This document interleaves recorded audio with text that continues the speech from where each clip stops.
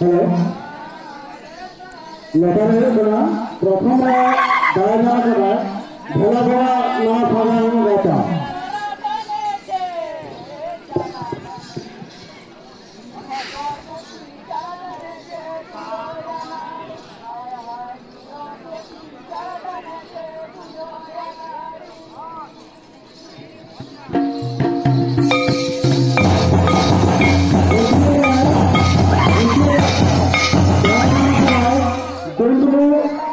Thank you.